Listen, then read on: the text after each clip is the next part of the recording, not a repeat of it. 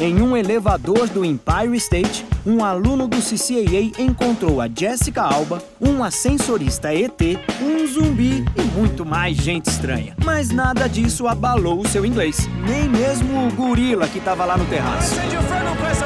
Na internet, aproveitamos a descida do elevador para incluir mais gente na história: o usuário. Como? Transformando o nosso filme no próprio elevador. Hurry, come on, he's coming!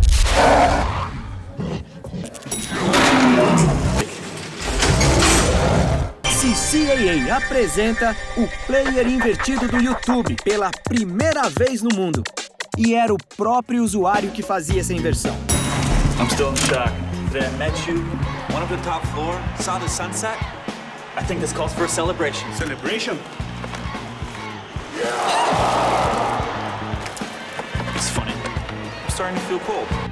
Em uma estratégia que usou todos os recursos do YouTube, como as marcações e os annotations, o usuário podia navegar entre os andares até encontrar uma charada em inglês.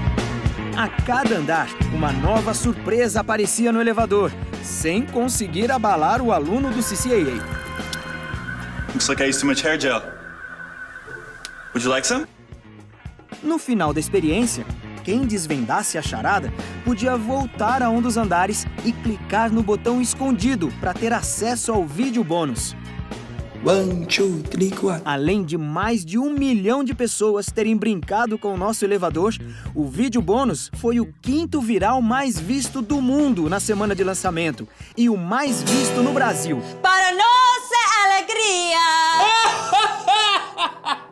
O CCAA continua subindo na preferência do seu target e dessa vez pegou o elevador.